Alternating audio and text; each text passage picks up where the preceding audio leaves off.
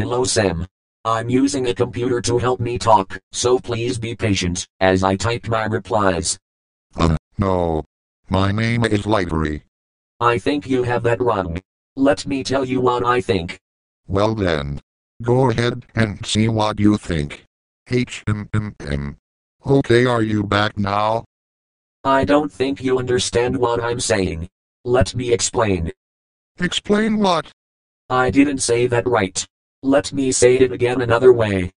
You dumb fucking ass hole.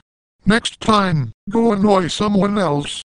Excuse me for interrupting. For interrupting.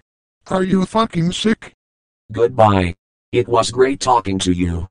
You better leave, you fucking annoying robot. God, that was so so so so annoying. Next time, I'll use Siri.